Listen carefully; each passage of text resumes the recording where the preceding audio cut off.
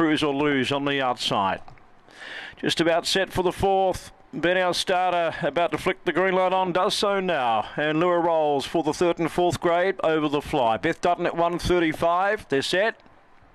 And racing, Beth Dutton charged out of the boxes. will find the fence early from Rio Bravo. Railing up as Bugatti X, followed by Usain Bark. Then Waterus and Cruise or Lose. Beth Dutton flying along a length and a half clear. Rio Bravo gets to the outside. Three lengths to Usain Bark. Beth Dutton the leader. Rio Bravo can't pick her up. And Alan Williams a double. Beth Dutton home again from Rio Bravo, Usain Bark. And then came Waterus, Cruise or Lose and Bugatti X.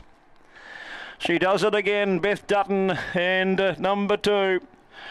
Her sections are just terrific. She found the paint first, and that was the end of the penny section. Number two, the winner, 1805, the run.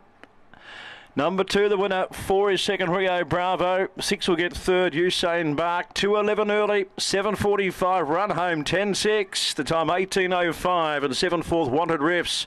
Interim result two, four, six and seven. Winning margin one and a quarter lengths. It's two lengths between second and third. The placings interim two, four, six and seven.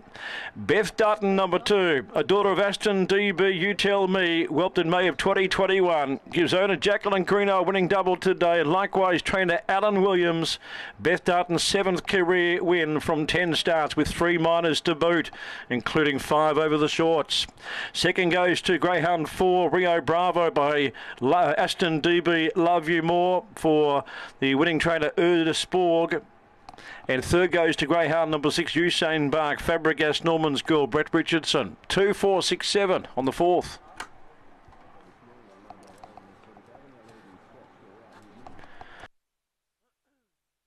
We are standing by for the payout now. Two, four, six, and seven, and she was just too speedy for them. Once she began the best, they were not going to run her down. When she can carve out sections like that and home in a 10-6. He did a good job, Rio Bravo. Stick with her. Only beaten one and a quarter in the end. Number four, he had some room to move early in the race, Rio Bravo, and he managed to sit outside of Beth Dutton. Winners paid 130 and $1.40 on the tab tote.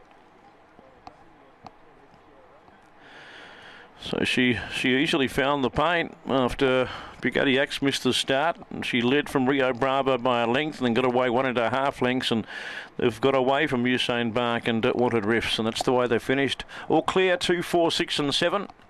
There's the payout now, and two, four, six, seven. Up next is race five, the quaddy first leg in 19, and Tasty Snack at 3.5.